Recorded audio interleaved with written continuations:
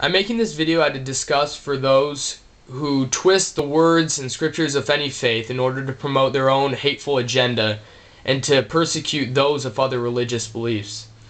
I challenge the members of this club to do this. Imagine that you are born into a Muslim family.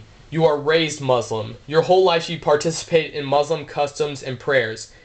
When you turn 30 or so, someone approaches you and tells you about a savior named Jesus. He or she rebukes you, saying that all you've known your entire life is false. It's a lie. That you would go to hell if you don't repent and accept Jesus. Would you convert? Probably not.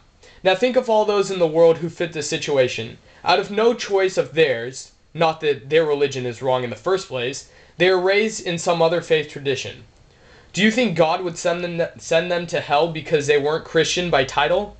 How is that person a sinner? That person is just following what he or she has known all his or her life. People of this world have different experiences, live in different environments, and therefore do not all share the same beliefs. God put them in that environment by gifting their parents with them.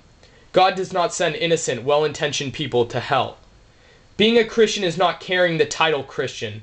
That means nothing.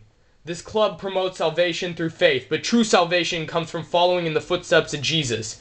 Jesus came to the earth not to persecute, but to serve, feed the hungry, give drink to the thirsty, care for the sick. So long as you live a good life as Jesus did, you will be saved. There are plenty of people who parade around claiming to be Christians, but in reality are hypocrites.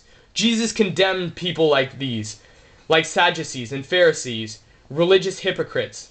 Do you think that such hypocrites deserve salvation more than someone who lacks the title of Christian? Jesus embraced Gentiles, he did not condemn them to hell. Live a good life and love each other. That is all God can ask from us.